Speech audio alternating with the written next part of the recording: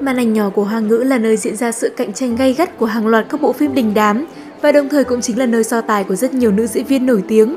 Tại đây có rất nhiều số phận khác nhau, người thì dù có lăng xê đến mấy, tham gia nhiều phim đến mấy thì cũng không nổi được, còn người thì ngược lại, bất kỳ bộ phim nào gắn liền với tên tuổi của mình đều có thể trở thành bom tấn truyền hình với lượng người xem khổng lồ.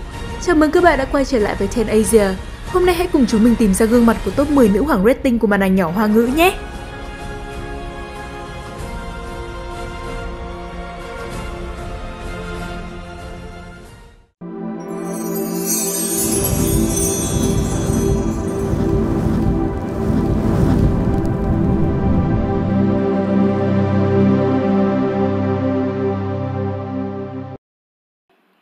Vị trí số 10, Phạm Băng Băng Phạm Băng Băng là cái tên nổi bật không thể bỏ qua trong bảng xếp hạng lần này của chúng mình. Dù đã gần 40 tuổi, nhưng cô vẫn giữ được nét trẻ trung, quý phái của mình và không hề có dấu hiệu lão hóa. Phạm Băng Băng tạo nên dấu ấn đầu tiên trong sự nghiệp của mình nhờ vai diễn kim tỏa trong bộ phim Hoàn Châu Cách Cách, cùng nhiều tên tuổi lớn khác như Triệu Vi, Lâm Tâm Như. Cô nổi tiếng với vai trò diễn viên, nhà sản xuất phim và còn sở hữu cả một studio riêng. Bên cạnh đó cô còn nổi tiếng với rất nhiều dự án từ thiện và là biểu tượng thời trang của Trung Quốc. Ngoài Hoàn Châu Cách Cách, cô còn góp mặt trong rất nhiều tác phẩm truyền hình thành công khác như Phong Thần Bảng, Kim Đại Ban và đặc biệt là Võ Tắc Thiên Truyền Kỳ với rating khủng và đầy ấn tượng. Hiện tại, Phạm Băng Băng đã có nhiều hoạt động và dự án vươn ra thị trường quốc tế, chứ không riêng gì Trung Quốc nữa. Hãy cùng chờ đợi những bước tiến mới của nữ hoàng này nhé! Vị trí số 9, Lâm Tâm Như Lâm Tâm Như là cái tên quen thuộc với rất nhiều thế hệ khán giả trên khắp thế giới. Năm 1994, Lâm Tân Như gia nhập làng giải trí với vai trò người mẫu bán thời gian. Năm 1995, cô đóng bá Vương học đường cùng Lâm Chí Dĩnh. Năm 1997 và 1999, với vai diễn Hạ Tử Vi trong bộ phim truyền hình ăn khách Hoàng Châu Cách Cách của nữ văn sĩ Quỳnh Giao, cô nổi tiếng khắp châu Á và đạt được nhiều thành công trong sự nghiệp. Không dừng lại ở đó, cô tiếp tục tham gia vào nhiều dự án phim lớn và đa dạng trong thể loại.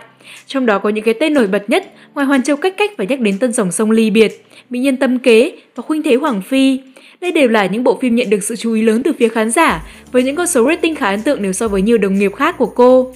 Hiện nay, cô đang có một cuộc sống gia đình hạnh phúc với Hốc Kiến Hoa và một tiểu công chúa. Bên cạnh đó, Lâm Tâm Như cũng không ngừng cố gắng tham gia nhiều dự án phim hơn để củng cố tên tuổi của mình trong showbiz.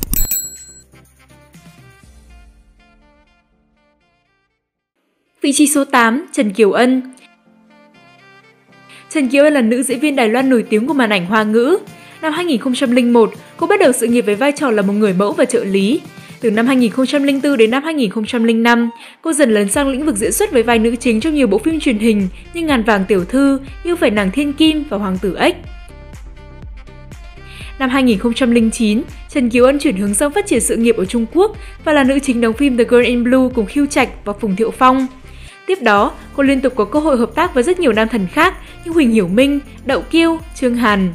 Năm 2012, cô bứt phá với vai chính trong vở kịch Cô gái trên cây sake và giành giải thưởng phim Dani thứ tư cho nữ diễn viên xuất sắc nhất.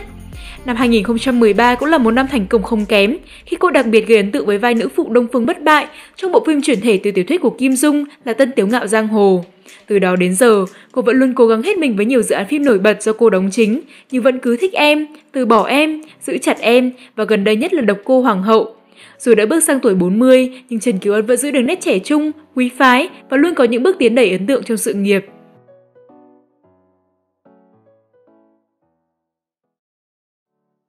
Vị trí số 7, Lưu Thi Thi Lưu Thi Thi là gương mặt vô cùng quen thuộc đối với những khán giả yêu thích phim Hoa ngữ. Gia nhập làng giải trí vào năm 2004, Lưu Thi Thi đã góp mặt trong rất nhiều tác phẩm lớn và gặt hái được nhiều thành công trong cuộc sống. Trong số các tác phẩm cô đã tham gia, thể loại cổ trang chiếm số đông và cũng nhờ đó cô luôn là một trong những mỹ nhân cổ trang xuất sắc nhất của màn ảnh hoa ngữ. Lưu Thi Thi từng góp mặt trong hai tác phẩm truyền hình truyền thể từ tiểu thuyết nổi tiếng của nhà văn Kim Dung là Anh hùng xạ điêu và ỷ thiên đồ long ký. Nhưng đến năm 2011, nhờ vai nữ chính Mai Nhĩ Thái Nhược Hy trong bộ phim truyền hình được chuyển thể từ tiểu thuyết ngôn tình ăn khách Bộ Bộ Kinh Tâm mà Ly Thi Thi mới thực sự có được chỗ đứng trong showbiz. Đây không chỉ là bộ phim quan trọng trong sự nghiệp mà còn là trong cả cuộc sống của cô. Khi nhờ có tác phẩm này, cô quen biết và hẹn hò với nam diễn viên Ngô Kỳ Long, người cũng đóng vai chính trong bộ Bộ Kinh Tâm. Cả hai kết hôn vào năm 2015 và đã có một quý tử. Quả là một cái kết viên mãn.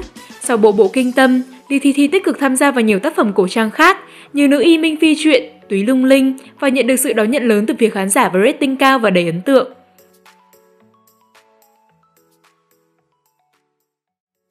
Vị trí số 6, Trịnh Sảng Trịnh Sảng là một trong số những gương mặt trẻ đầy triển vọng của màn ảnh hoa ngữ hiện nay. Được cha mẹ hướng theo nghiệp diễn từ nhỏ nên Trịnh Sảng được đào tạo về diễn xuất khá sớm. Từ năm 2 tuổi, cô được đi học một lớp nghệ thuật. Năm 12 tuổi, rời khỏi sự chăm sóc của cha mẹ, từ Thẩm Dương lên thành đô học múa. Năm 16 tuổi, Trịnh Sảng đỗ Đại học Bắc Kinh và trở thành sinh viên nhỏ tuổi nhất trong niên khóa năm đó. Dù ở tuổi còn nhỏ, nhưng cô cũng đã đạt được nhiều thành tích và hạng nhất nhì trong nghiệp học của mình. Tháng 2 năm 2009, với tác phẩm truyền hình đầu tay của mình là Cùng ngắm mưa sao băng, Trịnh Sảng đã gây được ấn tượng mạnh mẽ với khán giả, giúp cho bộ phim đứng vị trí đầu tiên trong bảng xếp hạng tỷ suất người xem phim truyền hình. Sau đó, Trịnh Sảng tiếp tục tham gia rất nhiều dự án phim lớn khác như Võ Tắc Thiên Bí Sử, Thái Bình Công Chúa Bí Sử, Cổ Kiếm Kỳ Đàm. Năm 2016, cô cùng bạn diễn Dương Dương tạo nên cơn sốt màn ảnh với bộ phim ngôn tình đình đám Yêu Em từ cái nhìn đầu tiên, với số lượt người theo dõi lên đến con số hàng chục tỷ. Gần đây, Trinh Sảng tiếp tục tham gia rất nhiều dự án khác như Hạ Chí chưa tới, Vì em, anh nguyện yêu thương cả thế giới, Bi thương ngược dòng thành sông. Ngoài ra, hiện giờ cô còn đang sở hữu một công ty giải trí của riêng mình nữa, thật đáng ngưỡng mộ phải không?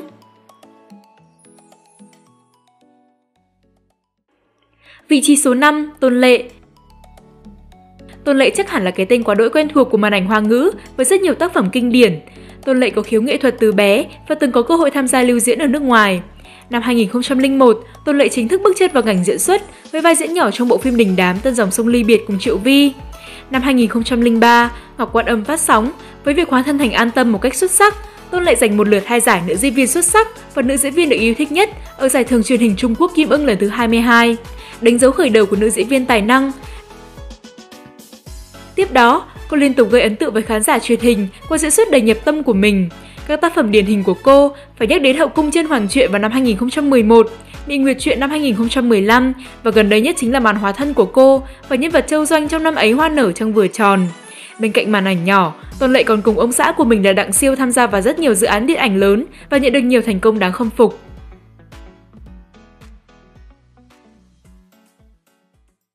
Vị trí số 4, Dương Tử Dương Tử là một trong những gương mặt triển vọng mới nổi của màn ảnh hoa ngữ. Dương Tử tên thật là Dương Ni Áo, sinh ra và lớn lên tại quận Phòng Sơn, Bắc Kinh. Gia nhập làng giải trí từ năm 2002, Dương Tử đã sớm đạt được nhiều thành tích đáng ngưỡng mộ. Dương Tử lần đầu nổi lên với vai Hạ Tuyết trong bộ phim Nhà có trai có gái. Bộ phim đứng đầu trong các bảng tỷ suất người xem khi được phát sóng tại Trung Quốc. Năm 2013, với vai diễn dai dai trong Thủ Mộc Nhân, Dương Tử đoạt giải diễn viên mới xuất sắc nhất tại giải thưởng Kim Phượng Hoàng. Cũng trong năm 2013, bộ phim Không phải hoa, không phải xương của Quỳnh Giao mà Dương Tử thủ vai trở thành bộ phim ăn khách nhất Trung Quốc. Năm 2014, cô hợp tác với team đạo diễn Khổng Sinh cùng với Hoắc Kiến Hoa đảm nhận vai nữ chính Hồ Tương Tương trong bộ phim Chiến tranh Chiến trường Sa. Sự nghiệp trên truyền hình của cô bắt đầu được chú ý nhờ vào vai giết Lục Tuyết Kỳ trong bộ phim Chu Tiên, Thành Văn Chí vào năm 2015. Và đến năm 2018, tên tuổi của cô thực sự nở rộ nhờ bộ phim cổ trang Hương mật tự khói xương, đóng chính cùng Đặng Luân. Từ đó, cô luôn là một trong những nữ diễn viên có chỉ số truyền thông cao nhất Trung Quốc. Gần đây, cô tiếp tục chinh phục khán giả với tác phẩm nổi như cồn trong hè này, mang tên cá mực hầm mật với vai nữ chính Niên Niên. Chắc chắn cô gái tài năng này còn có thể tiếp tục tỏa sáng nhiều hơn nữa trong tương lai. Vị trí số 3, Đường Yên Đường Yên là nữ diễn viên nổi tiếng đến từ Thượng Hải, Trung Quốc. Ban đầu cô có ý định trở thành tiếp viên hàng không, nhưng do gặp phải vấn đề sức khỏe nên cô không đủ điều kiện để vào học khóa đào tạo. Mùa hè năm 2001, để giải tỏa tâm trạng và thư giãn, mà Đường Yên đã tình cờ đăng ký tham dự cuộc thi Người đẹp quốc gia, ngôi sao thế kỷ thư lâu lần thứ ba và bất ngờ đăng quang ngôi vị Á hậu trong đêm chung kết tại sân vận động Thượng Hải. Cuộc thi đã làm thay đổi cuộc đời của Đường Yên. Sang năm 2002 khi gần tốt nghiệp trường du lịch Thượng Hải, cô được nhận vào khoa biểu diễn của Học viện Hí kịch Trung Quốc. Cô tham gia đóng phim từ năm 2003 và đã rất nhiều lần lọt vào mắt xanh của nhiều nhà làm phim. Năm 2009, nhờ vai diễn tử huyên trong tinh kiếm kỳ hiệp 3, cô được nhiều người biết đến hơn. Không chỉ dừng lại ở đó, Đường Yên tiếp tục tích cực tham gia nhiều dự án phim khác nhau để gây ấn tượng với khán giả. Và cô đã thành công với hàng loạt các dự án phim nổi tiếng và rating cao ngất ngưởng, điển hình và nhắc đến Loạn Thế Gia Nhân, Thiên Kim và Nữ Tặc, hoặc Sắc Sinh Hương, Cẩm Tú Vị Ương và đặc biệt là Bên nhau trọn đời. Ngoài ra, cô cũng công phá màn ảnh lớn với hàng loạt các tác phẩm ăn khách như Phong Vân 2, Ma Thổi Đèn 9 tầng tháp quỷ, Thợ săn tiền thưởng, Đại thoại Tây Du 3. Năm 2012, Đường Yên có chính thức sở hữu công ty giải trí riêng của mình và đã đạt được nhiều bước tiến đáng ngưỡng mộ.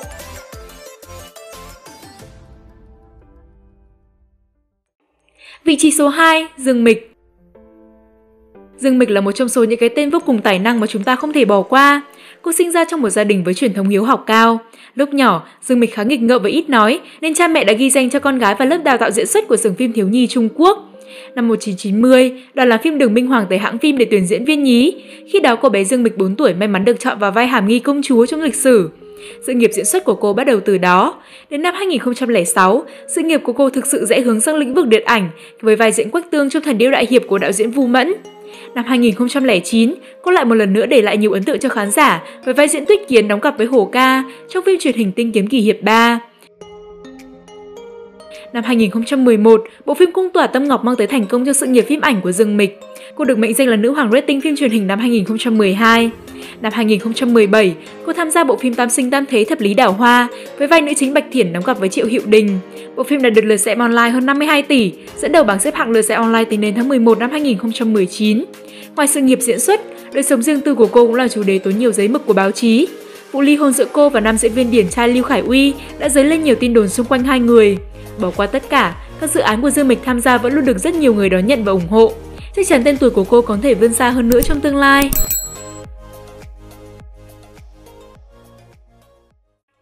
Vị trí số 1, Triệu Lệ Dĩnh Triệu Lệ Dĩnh chắc chắn là một trong những gương mặt sáng giá nhất, vô cùng xứng đáng với danh hiệu nữ hoàng rating của màn ảnh hoa ngữ. Cô bắt đầu đặt chân vào làng giải trí vào năm 2006 khi đoạt giải nhất cuộc thi tìm kiếm ngôi sao.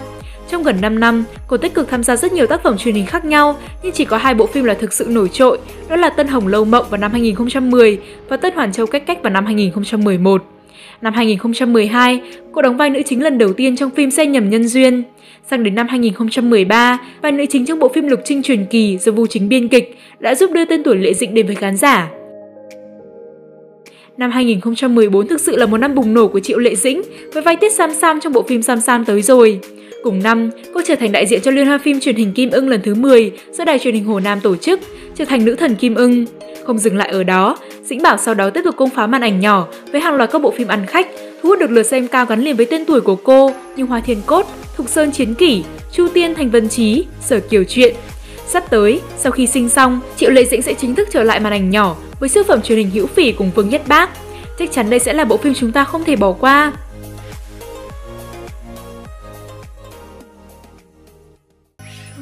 Và vừa rồi chính là top 10 nữ hoàng rating của màn ảnh hoa ngữ do chúng mình tổng hợp. Trong những cô gái đầy tài năng được nhắc đến bên trên, các bạn ấn tượng với ai nhất? Hãy cho chúng mình biết trong phần bình luận phía dưới nhé! Và cũng đừng quên like, share và subscribe để ủng hộ Ten Asia nhé! Hẹn gặp lại các bạn trong những video tiếp theo! Và sau đây là một số bảng xếp hạng chúng mình đã thực hiện.